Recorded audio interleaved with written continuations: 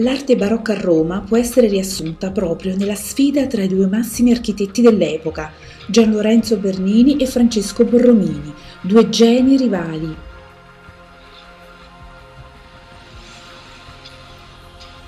Vediamo il barocco a Roma dopo la visita dei tifosi olandesi. La Roma barocca che conosciamo da secoli, invece, è questa con le sue piazze, piazza Navona, con le sue chiese e fontane, con le sue meravigliose statue. Secoli di storia calpestati, il disprezzo della grande arte dei nostri padri. Conoscere il passato allora significa rispettare. Chi furono Bernini e Borromini?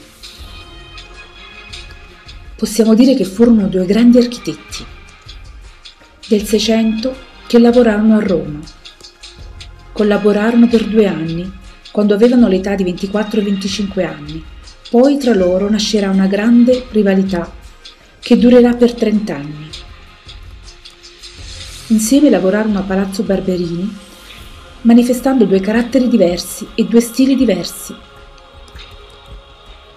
Chi era Bernini? Bernini era un architetto, uno scultore e un pittore. Aveva una personalità vivace, era amato da tutti e soprattutto dai papi. Nelle sue opere ricercherà la perfezione e gli effetti scenografici. Le sue statue sono Apollo e Daphne,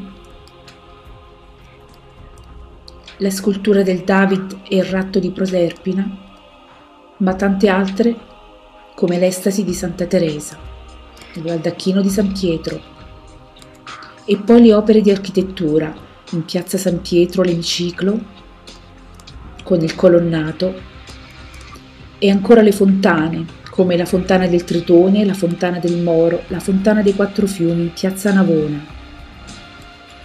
La figura che vediamo teme il crollo della facciata della chiesa di Borromini, alludendo all'antagonismo tra i due artisti. Chi era Borromini? Francesco Borromini avrà una personalità contrapposta a quella del Bernini, introversa, ansiosa, irrequieta.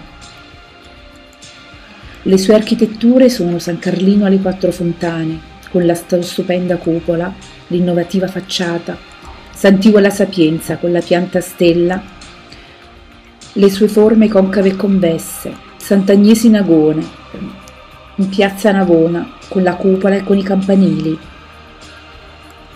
l'oratorio di Filippini, e poi il famoso restauro di San Giovanni Laterano.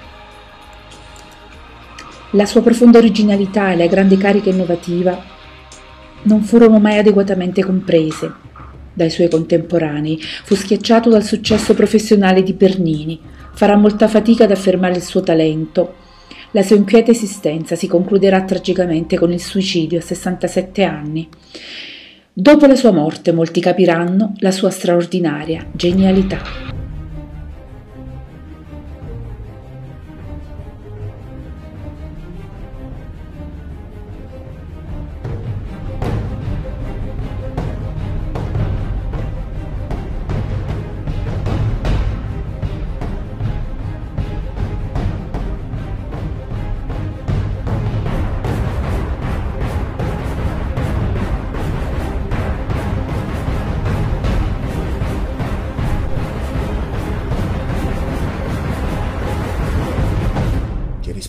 Così, colpo su colpo, opera su opera, capolavoro dopo capolavoro.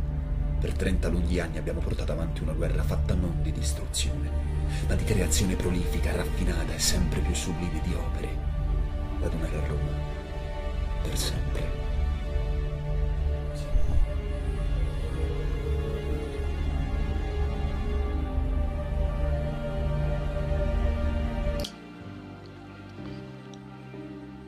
Un'arte che ci fa sognare da secoli. Ma cosa direbbero loro oggi vedendo questo? Forse direbbero giù le mani dai nostri sogni.